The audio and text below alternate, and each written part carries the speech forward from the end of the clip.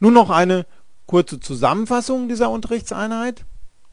Prozeduren dienen dazu, Neubefehle zu definieren und aufzurufen. Sie bestehen dabei halt aus diesen zwei Komponenten der Prozedurdefinition und des Prozeduraufrufs.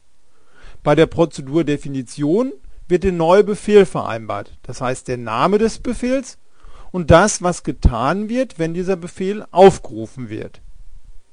Beim Prozeduraufruf wird dann der neue Befehl ausgeführt, das heißt ausgeführt wird letztendlich das, was, ein, was im Prozedurrumpf als Anweisung definiert wurde